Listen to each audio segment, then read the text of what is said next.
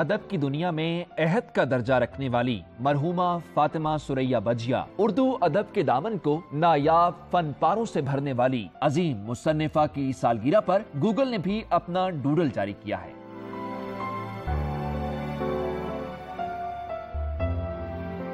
یکم ستمبر انیس سو تیس کو حیدرآباد دکن میں پیدا ہونے والی فاطمہ سریہ بجیا کے لکھے گھریلو ڈرامے ہر دور میں سب کی پسند رہے۔ بھیا ایک تو آپ ہیں جھپکی وکیل اوپر سے ہیں لنڈورے اگر شادی کر لی ہوتی نا تو یہ بدہواسیاں نہ کرتے نا یہ بیمانی کرتے۔ شادی کا شیطرنج سے کیا تعلق ہے؟ بہت تعلق ہے بہت تعلق ہے۔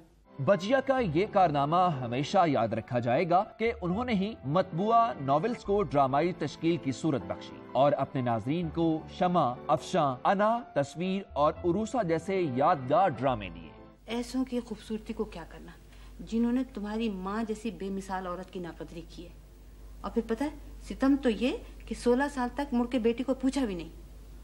خالہ جی آپ ہی تو کہتی ہیں کہ جھگڑا ہو تو تالی دونوں ہاتھوں سے بجتی ہے۔ اور بیٹا یہ دونوں ہاتھ ایک آدمی کے بھی تو ہو سکتے۔